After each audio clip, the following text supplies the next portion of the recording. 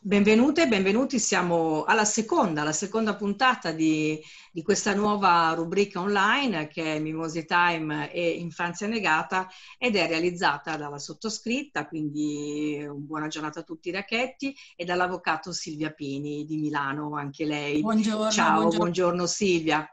Allora, eh, siamo partiti già con un caso ieri effettivamente molto importante e, e grave, ma quello che trattiamo oggi effettivamente tocca il cuore in profondità, perché quello che tu insomma mi hai accennato eh, quando mi hai raccontato questa storia, che adesso ascolteremo anche da, da una dei, delle protagoniste proprio della storia, la mamma, eh, effettivamente ha qualcosa dell'incredibile, nel senso che noi in questo momento è vero che siamo coinvolti per quanto riguarda il Covid e quindi ci sono i tribunali che non stanno lavorando, anche se io so che ad esempio a Milano invece ci sono comunque già, hanno ripreso abbastanza. Però in questo caso c'è un tribunale in Italia che non ha preso ancora magari in visione un certo tipo di, di, di, situazioni e in particolare quella appunto che ci racconterà adesso l'avvocato perché lei ha già fatto ehm, una PEC, prima aveva chiesto appuntamento eh, appunto per, essere, per fare in modo che i giudici visionassero questo caso ma non ha avuto ancora risposta e il problema grosso è che, adesso ci dirà l'avvocato, c'è di mezzo proprio una, un ragazzo, un ragazzo giovane eh, che assolutamente non sopporta più, ma questo è una cosa assolutamente normale, di stare in, uh, non so se viene chiamata comunità, come viene chiamata, centro di accoglienza, comunque poi ci, ci spiegherà bene Silvia eh, proprio nei particolari. Quindi eh, quello che vogliamo fare oggi è un appello, è un appello in particolare al Tribunale di Firenze affinché questo caso venga preso assolutamente in visione dai giudici. Adesso io passo la parola all'avvocato Silvia Pieni perché ci racconterà che cosa sta accadendo e per fare in modo che anche se c'è una situazione di lockdown ancora non, diciamo così, non ben definita, che però questi casi devono assolutamente essere affrontati. Prego Silvia. Allora, innanzitutto preciso, scusa Chetti, che il tribunale Prego. interessato è il tribunale per i minorenni, per i minorenni certo. di Firenze. Di certo. Firenze. Certo. E l'appello è rivolto al presidente del tribunale per i minorenni di Firenze. Fatta questa premessa, sì. Eh, brevemente, cercherò di essere breve, si tratta di un'attivazione per questa signora, madre di due figli minori, che chiameremo Giovanna, un nome di fantasia, un'attivazione del codice rosso a seguito di una querela presentata per presunti maltrattamenti. La signora quindi a seguito di questa querela viene eh, portata in struttura eh, assieme ai due figli minori. Eh, il PM a seguito di segnalazione da parte dei servizi sociali ehm, riferisce eh, il PM presso il Tribunale per i minorenni, eh, sto parlando, riferisce certo. poi al Tribunale per i minorenni il quale assume ehm, un decreto che poi non è un decreto, è un'ordinanza questa, è un, qualcosa di particolare di solito c'è il decreto, invece qua c'è un'ordinanza dove eh, conferma eh, l'affidamento all'ente, il collocamento della madre, dei minori presso la struttura e ordina eh, i percorsi psicologici. Ma questo affidamento alla struttura è perché è successo qualcosa prima, no? Sì. E infatti la cosa che ti volevo chiedere è che poi è una battaglia che anche che so che anche tu sei con me in questo senso, che quando una donna è vittima di violenza non dovrebbe essere lei ad andarsene via di casa, ma dovrebbe essere il maltrattante o comunque chi ha eh, fatto abusi o comunque maltrattamenti. No? Quindi diciamo che è, questa, è stata questa la causa per cui lei ha dovuto andare in un centro. Esatto. Purtroppo c'è questa problematica enorme che non si riesce a risolvere perché in questi casi quando c'è un uomo in casa violento, in questo caso il padre dei figli, eh, scusate, il padre, eh, dovrebbe essere allontanato lui come carnefice con dei mezzi previsti dalla legge che dovrebbe esatto. adottare il pubblico ministero. Non viene mai fatto, si preferisce per comodità allontanare la madre con i figli in struttura. Ci sono dei motivi, ma non è questa la sede per, per parlarne, certo. parle, avremo modo di parlarne. E eh, quando succedono queste cose poi eh, parte il procedimento davanti al Tribunale per i minorenni e il procedimento davanti al Tribunale ordinario per i reati, per i presunti reati oggetto di querela. Se non fosse che qui la querela è partita come maltrattamenti e si è attivato il codice rosso, però il PM ha ravvisato che non ci fossero i maltrattamenti, che ci fosse soltanto la violenza privata e una lesione, una lesione tra l'altro di per sé ehm, diciamo non grave e in effetti non si capisce perché sono stati dati poi 30 giorni di prognosi perché è proprio un'esagerazione tu oculi, proprio eh, anche chi non è medico ravvisa questa abnormità della prognosi, però questo vabbè è un altro discorso anche questo. La signora quindi viene eh, collocata in struttura e praticamente una volta parcheggiata viene abbandonata dalle istituzioni perché non vengono più fatti i percorsi ordinati dal Tribunale per i minorenni, e la struttura stessa dove la signora è stata collocata non capisce perché la signora è lì perché non è una vittima di violenza, cioè non è eh, il prototipo di, di, vittima che prevede la legge eh, alla quale applicare questo percorso, no? tanto che all'inizio hanno fatto anche opposizione ai servizi sociali per ricevere la signora, perché non capivano perché dovessero eh, collocare questa madre con i minori, però hanno obbedito agli ordini. Ma lì chi è che insiste? Insiste il centro antiviolenza in questo caso? Sì, sì, il centro antiviolenza ha insistito, ma soprattutto i servizi sociali. Tra l'altro la signora viene collocata prima del lockdown perché la querela risale a dicembre e la segnalazione dei servizi sociali al Tribunale per i minorenni è di fine dicembre 2019 eh? e ehm, il collocamento della signora avviene soltanto a metà gennaio. Quindi se vorrei far notare se eh, davvero questo marito fosse stato violento, eh, avrebbe avuto tutto il tempo per far degenerare la situazione, perché comunque certo vivevano sotto lo stesso tetto, i coniugi erano insieme, no? Quindi la, la, querela fatta il 14 di dicembre e il provvedimento eh, cautelativo preso a metà gennaio. In un mese può succedere di tutto. Per fortuna, quindi lei ha passato tutto questo periodo durante il Covid in questa struttura con i figli? Pre- no, no, no. Allora sì, sì, sì. Una volta collocata durante il Covid ha passato eh, tutto questo tempo Naturalmente si è rivolta all'avvocato, l'avvocato eh, immediatamente ha cercato di innanzitutto fare gli accertamenti soliti che vanno, vanno fatti in questi casi, ma eh, io ho visto subito, sono io l'avvocato, che c'era qualcosa che non andava, anche perché non c'era reato di maltrattamenti, c'erano reati per cui normalmente non vengono intrapresi percorsi di questo tipo, cioè se anche gravi fatti di violenza privata, ma comunque non sono maltrattamenti, non dovrebbe scattare un tipo di percorso come quello che invece è scattato. Questo perché è importante dirlo? Perché la signora, nonostante tutto, è ancora lì, cioè è ancora in struttura con questi due minori nonostante io cerchi da quasi un mese di depositare il ricorso per raggiungere il giudice e eh, sottoporgli questa situazione che tra l'altro nel tempo si è aggravata ulteriormente perché? Perché la signora è stata sradicata ingiustamente perché ho spiegato per quale motivo non doveva attivarsi questo tipo di meccanismo, bensì un altro, la signora è stata sradicata con i figli, il figlio ancora frequentava la scuola. Nel frattempo è subentrato il lockdown del virus e quindi hanno introdotto le lezioni da remoto.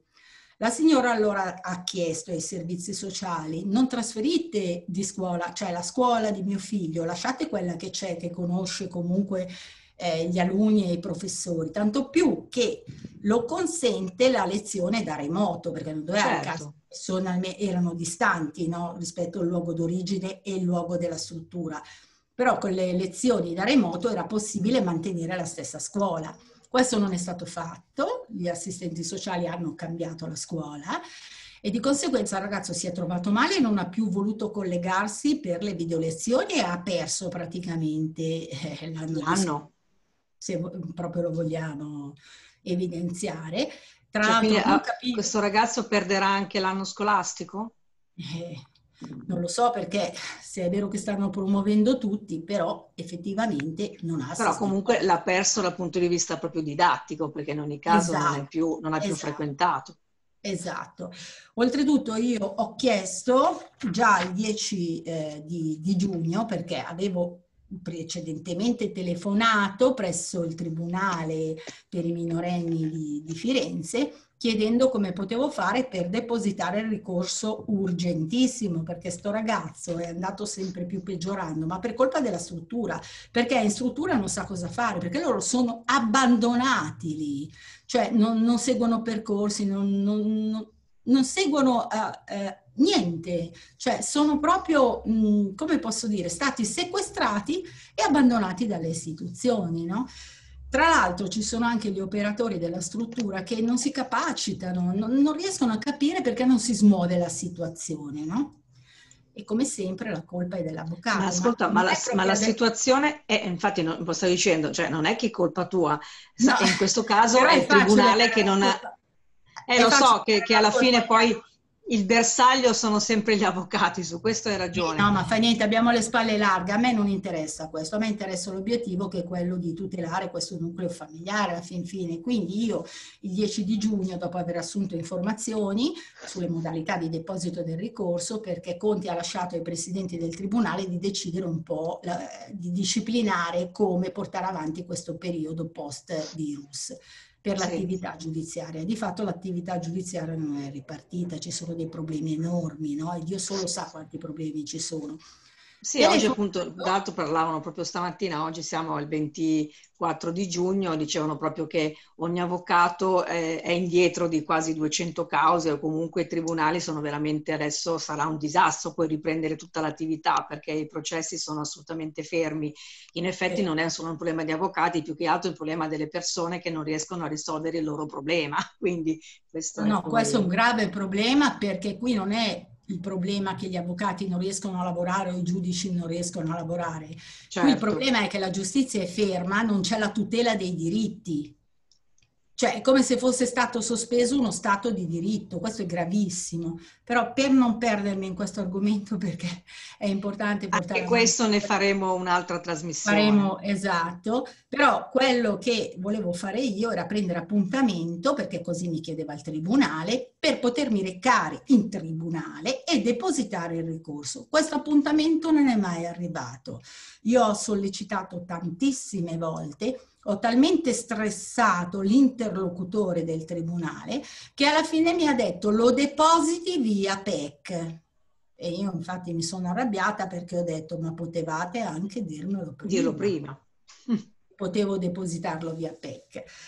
Questo eh, è avvenuto praticamente eh, il 18 giugno, ho depositato via PEC, ho tutte le ricevute naturalmente, posso provare quello che dico, se no non lo direi. Certo. Eh, ho depositato via PEC questo ricorso rappresentando l'urgenza, perché comunque a parte il fatto che anche durante il lockdown i, diritti, i procedimenti che riguardavano i minori non rientravano nella sospensione, ma poi anche volendo comunque, se ho depositato un ricorso il 18 giugno, oggi dovrebbe risultare quantomeno scaricato e scritto.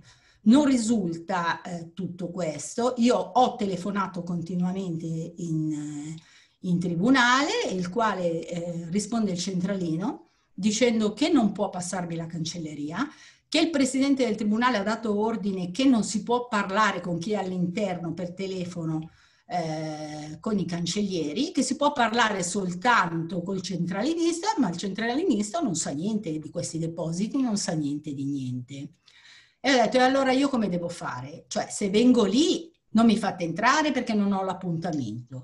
Chiedo l'appuntamento e non mi date l'appuntamento. Deposito via PEC non risulta sul sito apposito che è stato depositato e questa donna sono sei mesi che vive come una prigioniera sequestrata in condizioni disastrose perché è stata collocata in una casa, in una struttura eh, fatiscente, non igienica, pessime condizioni sanitarie.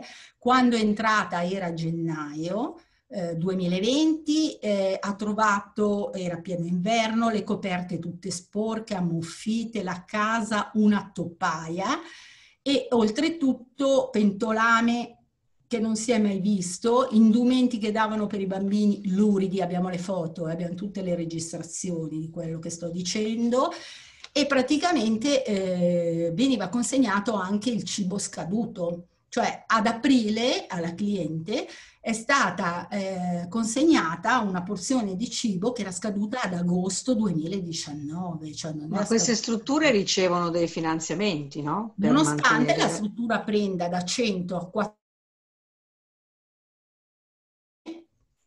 per ospite. Questi sono soldi che vengono pagati dai comuni, denaro pubblico, denaro nostro, denaro delle tasse, questa è la verità, e, eh, e, quindi sono pagati fior fiori di soldi per mantenere decentemente questi ospiti in struttura. Che fine fanno questi soldi non si sa e non c'è neanche un controllo. I controlli non esistono purtroppo. Dovrebbero, cioè sono previsti, ma non vengono fatti. Ma loro vivono in una stanza insieme o un appartamento? No, allora è un appartamento ricavato da una struttura antica, eh, non posso dire cosa esattamente. No, certo. Purtroppo è. E diciamo che tra l'altro in struttura dovrebbero esserci dieci ospiti con sei operatori, di notte non c'è nessuno, vengono lasciati soli, che se capita qualcosa non sanno neanche dove devono andare e soprattutto sono insieme ad altre mamme e bambini, ma sono tutti terrorizzati perché eh, ti lascio immaginare come vivono queste donne. Cioè, certo. Queste donne sono lasciate sole spesso vengono maltrattate, cioè passano dalla padella alla brace, questa è la verità. Eh? Tanto è vero che ci sono donne che si rivolgono a me e mi dicono avvocato io non denuncio perché mi portano via i figli e poi mi mettono in galera, cioè chiamano galera le strutture, perché ormai siamo nell'era di internet e sappiamo ci sono case di famiglia e strutture che funzionano bene e vanno bene, ma tante funzionano male e sono posti infernali, dove anche il personale non viene, eh, diciamo, selezionato come dovrebbe essere selezionato, dove non ci sono dei controlli che sono necessari e vengono maltrattate, vengono cioè proprio minacciate. No? Io, la cliente aveva il terrore a fare questo appello perché dice ma cosa mi succede? Mi porteranno via i figli, non me li faranno più vedere. È terrorizzata, però alla fine si è decisa a farlo perché il figlio non sta bene in struttura, ma non è neanche giusto che sta in struttura, come non è giusto che stia in struttura anche questa donna. Questo nel merito, non voglio anticipare la sede processuale, ma arrivare al punto che non si riesce neanche a raggiungere il giudice per sottoporre una questione così grave, qui siamo, rasentiamo la follia. Qui rasentiamo la follia, perché se succede qualcosa al ragazzino, ma non perché il ragazzino non è a posto di cervello, scusate l'espressione molto semplice, perché il ragazzino prima di entrare in struttura era bravissimo a scuola, era un ragazzino normalissimo, pieno di vitalità, con la voglia di vivere, che gli è stata spenta, un ragazzino di 15 anni. Non si può assistere a questo scempio. Assolutamente. Ma ad esempio, cioè, per quanto riguarda invece il collegamento con, in questo caso con la, col papà, lui non ne ha di, di contatti. Lo vede in ambiente protetto, cioè durante mm. il lockdown, eh, videochiamate, telefonate in presenza dell'operatore. Il figlio di 15 anni eh, non riusciva a parlare col padre in presenza di questo estraneo, anche perché sono presenti come dei gerarchi fascisti, eh? cioè non puoi chiedere certe cose, non puoi parlare di certe cose, eh, non puoi ridere in un certo modo, devi ridere in un altro. Non sto scherzando, eh, e non sono è terribile. È terribile. Lo so che è difficile da credere, perché anch'io stentavo a crederci, ma ho dovuto crederci, perché ho visto proprio con i miei occhi e sentito con le mie orecchie. Certo. Ma eh, se, se, se Giovanna vuole, posso farle una domanda? Giovanna, dovresti attivare il microfono se, se vuoi parlare. Devi schiacciare sul microfono. E vediamo se lo può fare il nostro regista. Magari può farlo lui, togliere e mettere il microfono di Giovanna.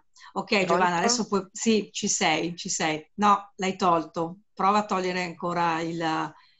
Eh, il... ecco, adesso sì. Adesso se sei così ti sentiamo. Prova a dire sono. ci sono.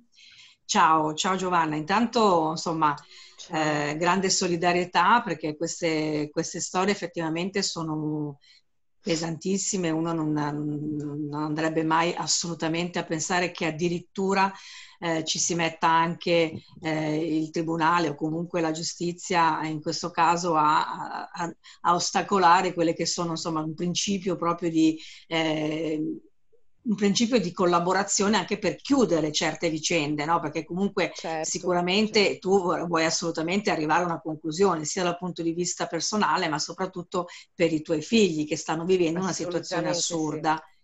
E, e quello che ti volevo chiedere, appunto, visto che tu comunque sei assolutamente eh, vittima due volte in questo caso. Eh, sì, mi ehm sento più vittima ora in questo momento eh, sì. più vittima di istitu- istituzioni che ingiustamente noi, eh, come diceva anche avvocato, ma questo è anche eh, quello che dico io, eh, siamo imprigionati qui senza aver commesso nessun crimine. Eh, cioè noi Infatti. non abbiamo commesso nessun crimine, soprattutto i miei figli che sono stati eh, privati, perché sono stati privati dei loro affetti, perché mm, cioè, ora mm, correggo un secondo avvocato Pini, eh, i ragazzi, il padre l'hanno sentito da gennaio ad oggi solo tramite telefonata quattro volte. Ah, ma questo perché è il centro che decide le chiamate? Eh, quello lo decide il servizio sociale. Mm.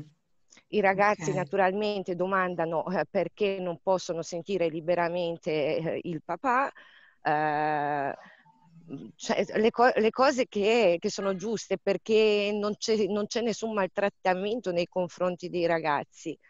Certo. Mm, cioè, mm, siamo, siamo, trattati come dei criminali noi, eh, solo che eh, la differenza è che i criminali quando escono, entrano in galera lo sanno quando entrano, eh, lo sanno quando escono. Quando escono. noi no. Ma infatti tu adesso, vabbè, sicuramente hai, hai, riposto tutta la tua fiducia nell'avvocato che sicuramente porterà certo. avanti la tua istanza, quindi lei farà certo. di tutto. E quello che ti volevo chiedere invece è il tuo rapporto con con i ragazzi com'è in questo momento? Cioè loro che cosa, che cosa ti dicono? Che cosa pensano? Cioè io cioè, voglio, voglio, mettere eh, in primo piano la situazione del ragazzo di 15 anni perché il bimbo, il bimbo piccolo eh, è normale, uno lo riesce a gestire con poco. Un ragazzo sì. di 15 anni è normale che ha un suo già carattere formato, che eh, ha le sue idee, eh, questo ragazzo qui non ha mai avuto, scusami, questo ragazzo eh, è sempre, sta- è sempre stato un ragazzo solare, un ragazzo ben voluto da tutto paese, che mi fermavano le mamme e mi facevano complimenti per quanto è educato, era bravo a scuola, frequentava calcio, era bravo a calcio, era un, ragazzo, era un ragazzo normale, bravo bravo, un ragazzo normalissimo, bravo. E lui trovarsi in questa situazione qui, eh, cioè, dopo tutto questo tempo, ma non solo, perché abbiamo vissuto anche, anche il lockdown, eh, noi chiusi eh, in, quest, in, questa casa, se così la possiamo chiamare, eh, cioè abbandonati, abbandonati, abbandonati, sì, abbandonati. Sì, cioè fermi, chiusi due volte alla fine, cioè prigionieri sì. due volte. Sì, eh, questo ragazzo naturalmente in questo momento la mia grande preoccupazione è che eh, lui eh, possa scappare di qui, lui lo sa cosa andrebbe incontro se scappa da qui perché io con mio figlio cerco di parlare, però eh, lui si sente ingiustamente in questo vortice, in questa prigionia, lui l'unica cosa che ora riesce a, a dire è che, che, lo devo portare via di qui, ma al più certo. presto. E io lo vedo che questo ragazzo giorno per giorno cambia, giorno per giorno sta sempre più male, ma non è perché sono io che non sono in grado di mm, di essere una buona mamma. No, certo, è la perché, situazione. Perché questa situazione eh, non gli aiuta, perché lui ha bisogno di suoi affetti, lui ha bisogno di tornare alla sua scuola dove ha fatto tanti sacrifici. Ma la scuola, gli amici, dove abita, il suo ambiente, cioè effettivamente, perché poi tra l'altro non sarà vicino casa questa casa, no? Adesso cioè, no, diciamo no, dov'è, ma non sarà neanche Assolut- vicino no, casa. Ma, ma glielo posso garantire che è anche molto lontano. Uh, quindi figuriamoci, proprio sradicati completamente dalla propria vita. Ma non ci sono, cioè, quando un ragazzo ha un certo tipo di manifestazioni psicologiche, è possibile che non c'è appunto il servizio sociale o lo psicologo, la psicologa il, che si rende conto? Il problema conto? è che il servizio sociale eh, si trova eh, nella città da dove sono partita io e di ciò non è mai stato, non è mai stato interessato al benessere dei ragazzi. Mai.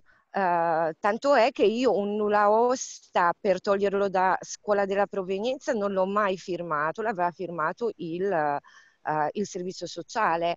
Eh, dopodiché io comunque ho insistito anche con dei coordinatrici di classe di tutte e due le scuole, eh, ho insistito di farlo eh, frequentare la piattaforma della scuola di provenienza, perché il ragazzo nella scuola nuova era indietro con programma, eh certo. non poteva frequentare, era un altro tipo di scuola.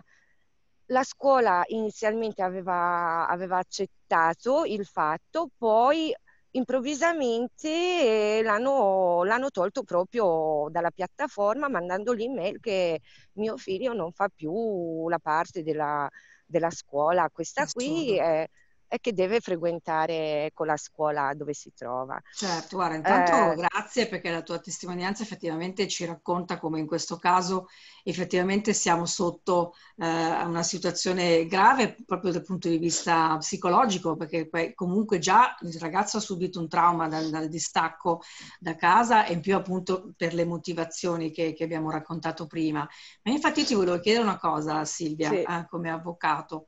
Eh, cioè mh, così diciamo un po' da, eh, da esterna, no? Ma se, mh, non so, il, il, papà decide di, di, di chiudere, cioè può, può, chiudere un padre la situazione e dire no, guarda, mi rendo conto anch'io che questa situazione è, è assurda, eh, ritiriamo tutto, non so, la querela, la denuncia, cioè si può concludere una cosa, in, diciamo così, consensualmente come un, un rapporto di coppia o non si può?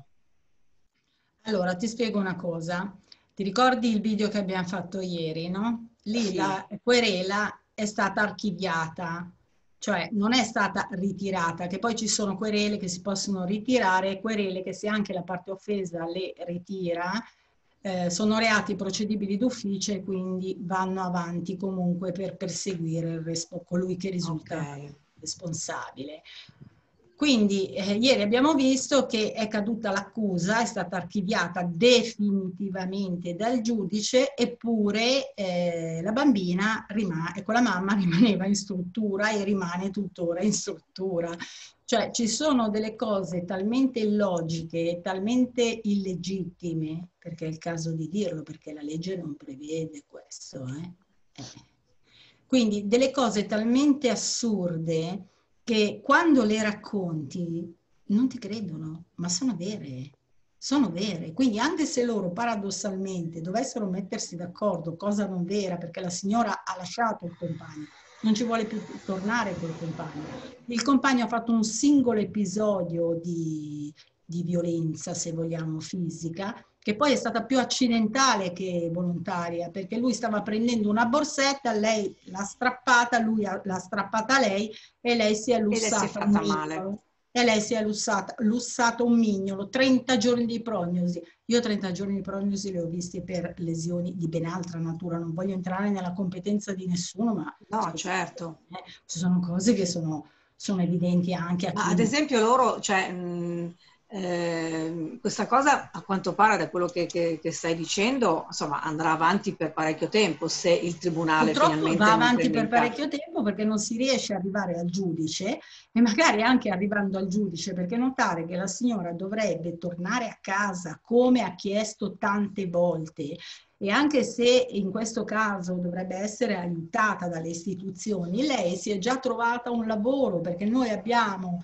prodotto, allegando al ricorso che non riusciamo a depositare o non sappiamo se è stato depositato o scaricato per tutti i motivi che ho detto prima, una dichiarazione di un datore di lavoro pronto a riprenderla, che era il precedente. Ma perché lei non, non può lavorare in questo momento? Eh, ma in struttura come fa a lavorare? Cioè lei tra l'altro è in un ambiente eh, estraneo, è, un ambiente, è stata sra- tu immagina che ti prendono da dove sei che ne so, abiti a Roma, abiti a Firenze e ti portano a Palermo. Ti sembra una cosa facile ricominciare una vita lì, loro dovrebbero aiutarti, ma qui non è partito nessun sostegno perché lei non è una vittima, cioè qui paradossalmente lei si trova in una procedura, in una struttura che, che non, non, riguardano il suo caso, cioè per violenza privata o per una lesione come ha subito lei, non si è mai visto allontanare una madre coi figli e anche laddove lo fanno comunque è gravissimo perché devono rimediare. Allora, ma il tribunale rimane sempre quello di competenza, non si può cambiare eh, il tribunale. No, no, il tribunale rimane quello. Eh, ma cioè, scusa che... Tanto poi comunque sarebbe vale uguale. Cioè, non è che andando in un altro tribunale si risolve la situazione. Eh. Perché Ma sai, pensavo appunto che ad esempio a Milano sono tornati abbastanza a lavorare. E perché molto... Milano io lo conosco bene, cioè non che io voglio parlare necessariamente bene di un tribunale piuttosto che di un altro. Però no, Milano, no, è solo una cosa pratica. Milano certo. è ripartito, è il caso di dirlo. Sì. Poi siccome Conte ha detto ogni presidente del tribunale faccia da sé, paese che vai, usanza che trovi. Cioè ti trovi il tribunale che vai, è organizzato e funziona, tribunale che non ti dico altri tribunali. Cioè, certo. Guarda, io mh, mm, diciamo che noi comunque stiamo lanciando una bella palla adesso, no? Quindi l'appello che, che adesso ti, ti, faccio finire questa nostra chiacchierata, ti faccio concludere con, con l'appello che ribadisco. Intanto saluto Giovanna e spero vivamente di rivederti un giorno eh, non piangente ma assolutamente sorridente per la fine di questa storia assurda, veramente assurda. E, e ti volevo appunto dire, eh, Silvia, perché condivido assolutamente con te questo appello, di fare questo appello al Tribunale di, dei minori di Firenze. Io faccio un appello eh, al Presidente del Tribunale per i minorenni di Firenze di assicurare che questo ricorso non solo eh, risulti depositato come risulta a me, perché io non sono sicura che sia stato scaricato e sottoposto all'attenzione di chi di dovere, e soprattutto eh, provveda quanto prima tenendo presente tutte le motivazioni che io ho detto nel ricorso. Per salvare questa donna, per salvare questi minori, perché le, le istituzioni apparentemente li hanno tolti da una situazione di pericolo, ma si ritrovano in, un'altra situazione di pericolo e di disagio. Non è una questione personale, non è un attacco alle istituzioni. Io chiedo cortesemente quello che è previsto per legge. Non chiedo nient'altro, perché comunque questa situazione non può continuare in questo modo, perché il ragazzino è all'estremo, ma non per colpa sua, ma per tutto quello che gli è capitato in questi ultimi tempi, a maggior ragione per tutte le motivazioni che abbiamo appena elencato. Quindi non se ne abbia male se io sono ricorsa a questo mezzo, ma non avevo alternativa. Siamo arrivati a, a questi livelli. Purtroppo io dovevo farglielo sapere e spero che lei lo venga a sapere, almeno questo. Guarda, Solo... grazie, grazie ancora Silvia, un saluto a, a Giovanna, un abbraccio grande grande. Eh, ho visto tra l'altro che è passato dietro di me mio figlio che ha 15 anni, quindi puoi immaginare insomma la solidarietà e grazie. un abbraccio veramente grande e a presto. Grazie Silvia grazie anche a te. Ciao. Giovanna, mi raccomando Giovanna. Sì, mi raccomando sì. anch'io. Faccia eh. forza, dai. Certo, forza. per i miei figli. Noi ci siamo, noi ci siamo. Grazie. Lei non è sola. Grazie, grazie. veramente grazie, grazie, grazie. Ciao, un abbraccio. Ciao. Ciao a tutti, vi ringrazio per l'attenzione. Grazie Ketty. Grazie a te. Ciao. Te.